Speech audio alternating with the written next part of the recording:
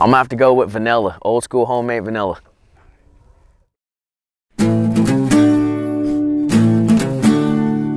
Man, my first bass setup was a Fenwick Eagle, a Fenwick Eagle 2. And I had an old beat up uh, Daiwa. Um, it was a Black Widow.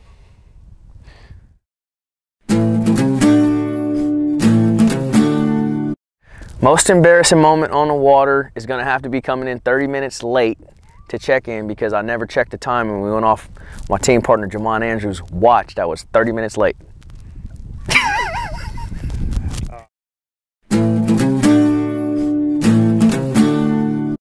it would have to be baseball. That was my outside of fishing. That was the sport that I always loved. I played all the time growing up, and I actually played for 15 years, all the way through high school, and uh, had a shot at going to college and doing it, but I didn't. So.